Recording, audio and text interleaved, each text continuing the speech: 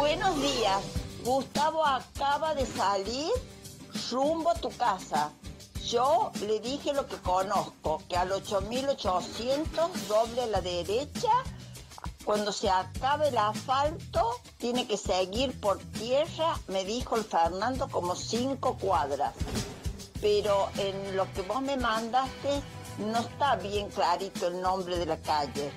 Este, por las dudas, date con el celular atento, por si Toby no llega hasta tu casa.